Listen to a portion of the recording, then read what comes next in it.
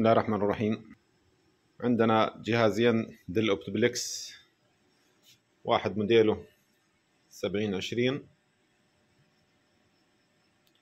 والآخر موديله ثلاثين ستين. الجهازين بنلاحظ لما نشغلهم. بعمل flashing مرة مرتين بعدين ثلاث مرات.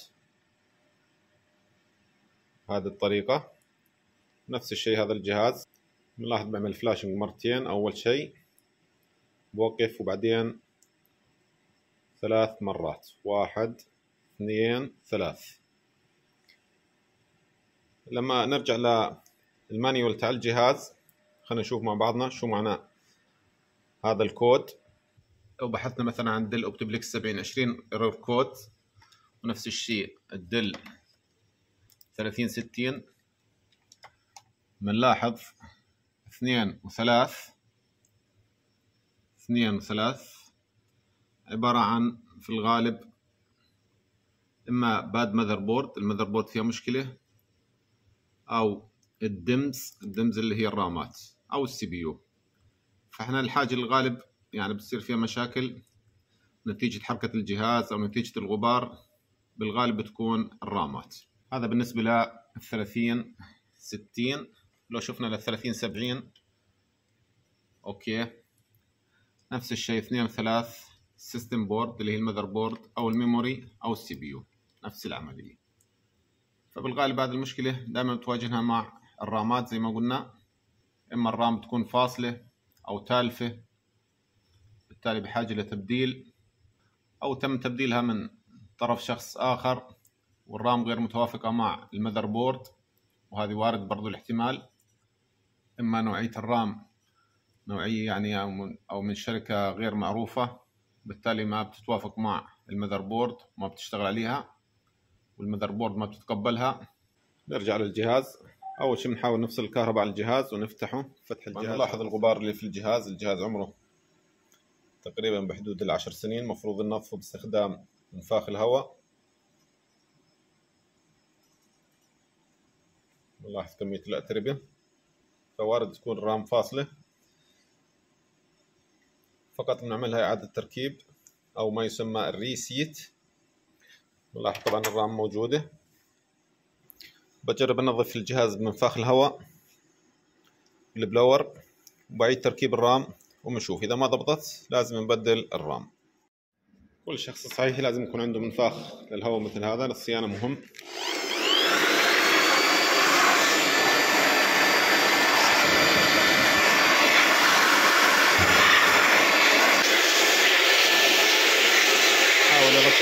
المراوح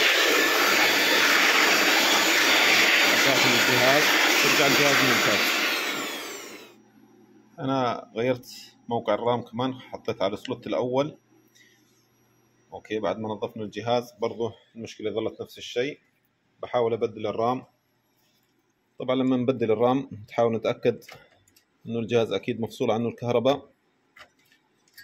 ونحاول نثبت الرام بطريقة سليمة نضغط عليها بقوة شوي حتى تكبس. بنركب الكهرباء ونجرب الجهاز مجددا. نلاحظ ضوء الجهاز الآن تحول لضوء الأبيض. طبعا الجهاز بيشتغل مرة مرتين ثلاث.